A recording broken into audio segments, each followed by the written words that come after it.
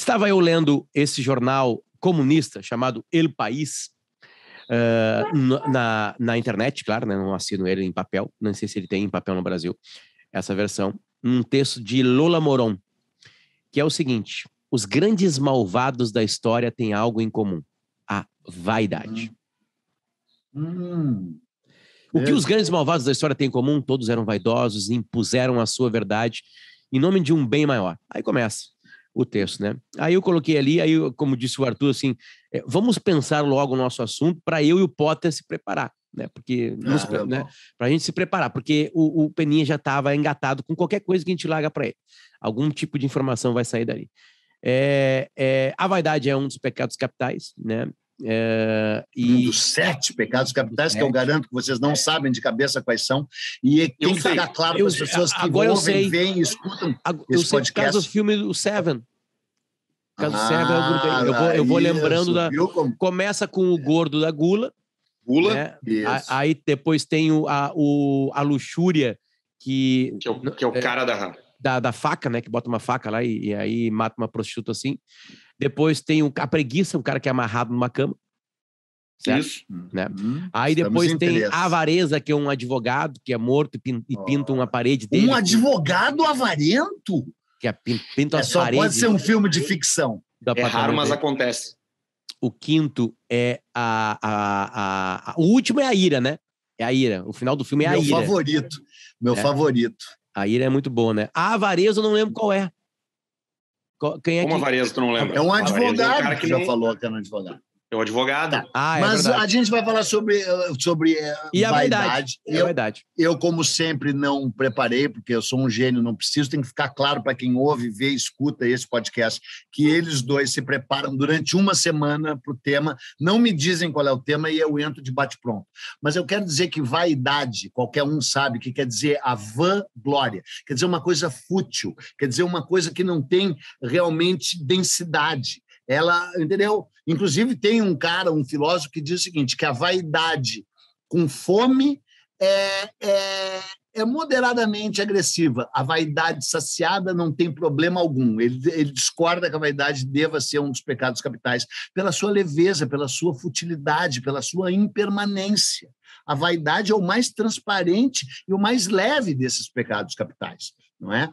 Eu não tenho vaidade porque a vaidade é vã mas eu sou uma pessoa soberba, que é justamente o pecado que tu faltou mencionar. O pecado que eu mais exercito uh, dos sete pecados capitais é a ira. A ira. Eu me alimento de ira, eu adoro a ira. Mas o que mais está introjetado em mim é a soberba, porque eu sou uma pessoa soberba, só que no sentido pleno. As pessoas olham para mim e dizem assim: que texto soberbo.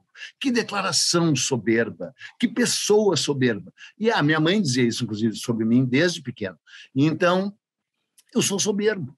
E eu não acho que eu vá para o inferno por causa da minha soberba. Sabe que uma Espero vez... Que você está ouvindo também não. Durante a faculdade, eu, eu lembro de, de ter perguntado... Eu tive um, um grande professor que foi o Tata Pimentel, né? Ele era professor de Teoria da Comunicação.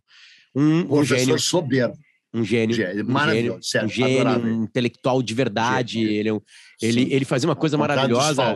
Eu não sei se já te contei Sim. isso aí, Arthur. Peninha deve saber essa história. Ele recebia a zero hora e ele corrigia a zero hora com caneta.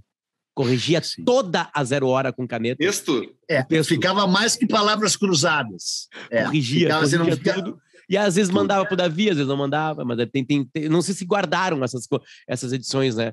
É, e, Pô, morreu sozinho, né? E, e o Tatá, eu perguntei pro Tatá, Tatá, tu queria saber mais de. de é, porque eu já tinha visto Seven, né? Eu, professor, quero saber, mas não era meu colega ainda na TV Com, né? Eu era um, um estudante. Eu disse, professor, eu queria saber mais de, de pecados capitais. Ele assim, tu estás na Pontifícia Universidade Católica? Vai lá falar com o reitor, o padre, não lembro qual era o reitor da época. E eu cheguei Ela... lá e fui muito bem Irmão recebido. José Otão. Eu, ainda não. Vai falar lá com o irmão José Otão. Aí ele me passou e foi, foi uma, uma tarde, eu lembro da tarde, assim, uma tarde carinhosa, assim, de um, de um, de um cara explicando pela, pela, pela visão cristã, né, dos pecados capitais, a importância deles, porque que isso está muito linkado à, à, à, à, religião, de alguma maneira, né? E... Pois é, a, vai... a, a desculpa, Porta. Toca falando, saca fit, não, eu digo assim. Não, eu ia dizer, dizer que a vaidade, a, a, vaidade, que é o nosso tema hoje, que é isso que tu tá falando aí, sobre tu, tu foi conversar com, com o pároco lá sobre os. A vaidade é algo relativamente moderno, né, Peninha? É, tu falou aí da, da, da vanglória, a vanglória, o, a quem se vangloria, né? Isso, é um, isso era uma proto-vaidade, uma coisa anterior ainda. A vaidade ele é, um, é uma concepção muito mais, muito mais cristã, daqui a pouco judaico, sei lá, de, de concepção de personalidade que, uhum. de alguma forma, nos direcionou como humanidade por caminhos, né? Uh, mas, mas o que, que é essa? O que, que, era essa vaidade antes, assim? Porque, tipo assim, ela começou a ser condenada pela igreja. Antes disso, ela era tipo, ah, olha ali o cara se vangloriando, né? Dizendo que tinha feito, mas não tinha. Em que momento que isso se mistura, assim, e vira essa coisa tão poderosa? Porque o Tatata também era um vaidoso. Talvez não vaidoso. um vaidoso no mesmo sentido que a gente está falando aqui, mas um vaidoso com, com, com, né? Gostava de se vestir bem, é um cara que estava sempre cheiroso. Sim, Verdade. Não, cara, começa como toda desgraça começou.